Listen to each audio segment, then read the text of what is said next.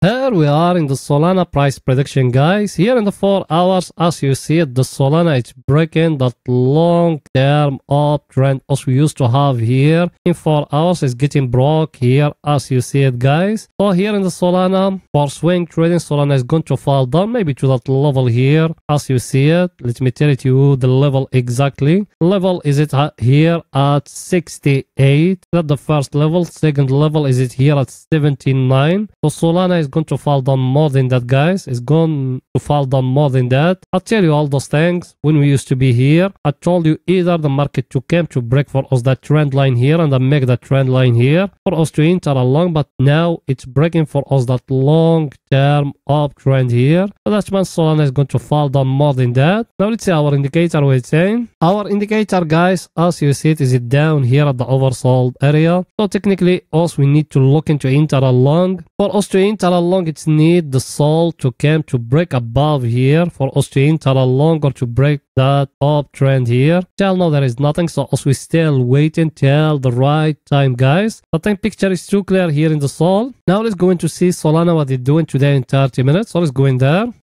Here we are in the Solana 30 minute guys here. In yesterday video we came with those things like that together. It's breaking here, we'll dive you into a short, tail that low or the tail of that candle here exactly which is at 85. As man the sol is going to fall down more than that. All that analysis you can find it in yesterday video guys. Look at it. Now here at that place where we are what we got. That one we're going to make it like that guys as you see it. Same thing every day we're doing the same same thing here in that channel. As you see it from the tail of the candle here and that last low here. If the sol breaking down more falling down guys. Now here you can make another downtrend here as you see it from that one here and that one here. And you waiting that one to come to break here but me i'm waiting that long term downtrend here to be broken. For me to enter along and as i just show you the sol just breaking that four hour long term uptrend. So even that one you need to be focused about it guys. The time picture is too clear. Now let's see our indicator it's saying here. Our indicator guys as you see it enter here to oversold area again. Level as we are in a very very stronger supply and demand zone should we enter along tell no we don't got any price action here. Confirm for us as we need to enter along so we need to wait until the right time guys. The tank picture is too clear guys here. So that's it for that video and please make sure to support us by just smashing the like button writing down a comment. And if you could even share the video you done it. Thank you very very very very much my friends. See you in another video guys. Bye for now